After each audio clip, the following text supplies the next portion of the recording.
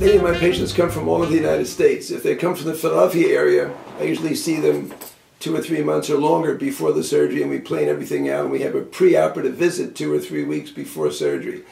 If many of our patients coming from far away find it difficult to get to Philadelphia for a pre-op visit, we can take care of most of that through the mail, through the email, through faxes and you can either have their preoperative laboratory work. We always require a blood count, a urinalysis, and if you're over 40, an EKG. You can do that at your local hospital with your local doctor. They fax us that lab work. I do in history, usually history and physical over the telephone. Your height, your weight, your medical background, your surgical background, what medical problems you're being treated for. And in some cases, I ask patients to send me pictures, especially if we're going to do facial or top surgery. I need to know what I have to work with. With those pictures in the front view, oblique view, side view, then I can evaluate that. And usually I, I ask people to send me their phone number, and I call them up on the phone one evening, and we talk for maybe a half hour or an hour. Uh, and so we come to a plan on what they want to do and what I think is necessary. And I won't do something that I don't think is right right. When people come from out of town, they usually arrive at our center here in Bala Cynwyd, Pennsylvania, which is just outside of Philadelphia. We're about 15 minutes from the airport,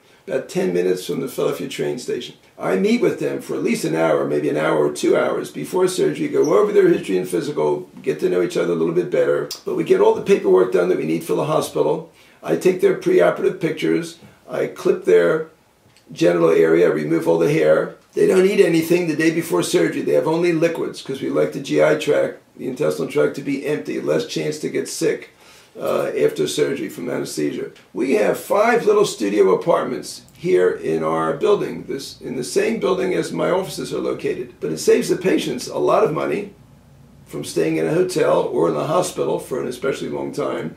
And I'm able to see my patients every day. The morning of surgery, I personally pick my patients up here at the center and I drive them to the hospital. They check into the hospital, I show them exactly where to go. I come back an hour later, the hospital has them admitted to the floor, they change, uh, and then they're taken to the pre op room of the OR. And then I meet them there and I go over everything again and make sure the nurses have all the paperwork they need and they have all the lab work that we had ahead of time and we usually send that in couple weeks before surgery. So all that is set to go. And they're met by the anesthesia people. They usually pay one check to the hospital or a credit card to the hospital. When they get to the operating room, they give another check or the credit card to the anesthesia department. They've already paid us. We get paid about three, four weeks before surgery. That all has to be paid in advance. They meet the anesthesia, they meet my residents that work with me at surgery, and if every, when everything is in order, off to the OR we go. They go into the operating room, they wiggle over to the operating table, they already have an IV and they're given a little sedation through the IV. The anesthesia puts a little mask on their face to give them just oxygen, fresh air, and they put them to sleep through their IV. Then they'll put an intubation tube into their trachea and they're asleep and the anesthesiologist and their machinery keeps very accurate control of every breath of the patient. They're hooked up to a cardiac monitor we see their blood pressure continuously. We see every heartbeat and every pulse. Have a, we have a running EKG, cardiac monitor on them continuously. And we do the operation. We prep the area, we put all the drapes around, and we get started. We do the surgery. The surgery usually takes about four hours, can be a little less or a little bit more, but usually about four hours. I'm not in a big rush. The patient's going to have this result for the rest of their life. When the surgery is over, patient wakes up, we put them back on a a stretcher on a gurney, we go back to the recovery room. The patient's in the recovery room for one or two hours till they're more awake.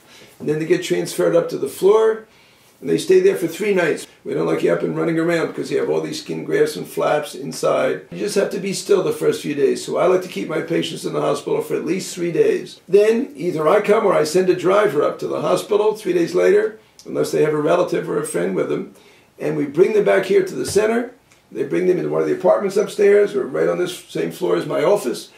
We, I check them right away and make sure everything's okay. They still have their Foley catheter in their bladder. They have the packing in their vagina, and that stays there for the first week. And they can eat and drink, and not drink a lot of liquor, but they can eat and drink liquids after surgery, even the, the, the, same day of that evening of surgery, even. And from then on, they can drink and eat normal food. They start dilating one week after surgery, four times a day, for three weeks. And then they go home. After another week, usually they're fine, all the sutures are out, and they can go home after the second week. I like to keep them in the area for two full weeks. And then they can go home to wherever they came from. Unless they have a problem, we keep them a little longer. They go home, they keep in touch with me by phone. I like to see my patients again within a month or two after surgery. If they live closer to Philadelphia, I get them back sooner. If they live further away, I keep in touch with them by phone. I keep in touch with all my patients.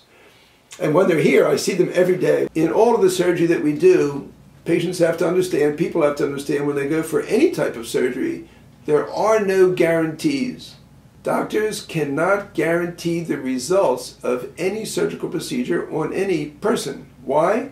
Because doctors don't have control over all the variables involved in healing. Doctors don't have control over a patient, what the patient does once they're out of our sight. And also, different people just heal differently. Usually, we don't see any major problems. And so far, I haven't had a patient that had any major complication. But minor problems can happen, and there's a whole list of potential complications or problems that people can have. And I go through a whole printed out list with my patients before we do the surgery so they understand all the ramifications and the possible potential risks before we do the surgery because people should have what we call an informed consent. When they sign a consent, it should be informed. Now, I go through every one of the possible problems. You could have bleeding. You certainly, every operation can have swelling and discoloration.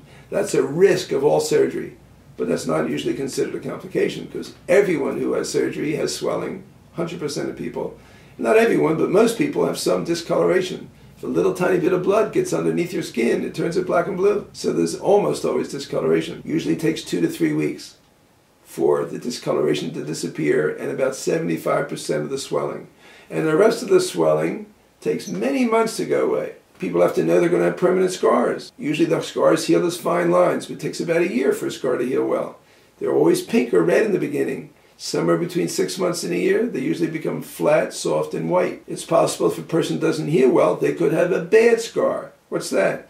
A thick or wide or discolored scar, or a scar that contracts and distorts adjacent tissue or a keloid which keeps growing until it overlaps normal adjacent skin. That's pretty rare, but that can happen. Infection can happen after any surgery. If it starts to get a little red and swollen and tender, within several days to up to two weeks after surgery, we'll put them back on antibiotic. If someone develops an abscess, which is possible after any surgery, which is a collection of pus in a surgical site from infection, usually the patient's own bacteria, the treatment of an abscess is to drain it and keep the patient on the antibiotics and to clean the wound. Necrosis of tissue, necrosis or death of tissue.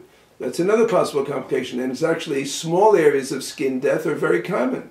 a lot of incisions, there's tension on the incisions, some of the skin is very thin, some of the tissue that we put the skin grafts on are just fat, and fat does not have a good blood supply, so it's hard, it's difficult for the body to get the skin graft to take when there's not a good blood supply in these fatty areas. It's another reason why we don't like to operate on very heavy people, because fatty tissues, adipose tissue, does not have good blood supply, so it doesn't heal well. So all these things can happen. If there is an area of necrosis, we trim, we trim it off, or it just comes off by itself with the dressing changes. And eventually, usually the wound will heal in by itself. It heals in by what we call secondary intention. The wound contracts, it makes granulation tissue, little red beefy blood vessels, which we call granulation tissue. Then epithelium from the adjacent skin, the surface skin, grows over the granulations, and that causes a scar. But it usually heals quite well. And that's very common to have at least small areas of necrosis, or the incisions can separate a little bit. We have to keep them clean, keep changing the dressings, moist dressing covered by dry dressing, and eventually it can take weeks, sometimes it can take two or three months, but they usually heal in.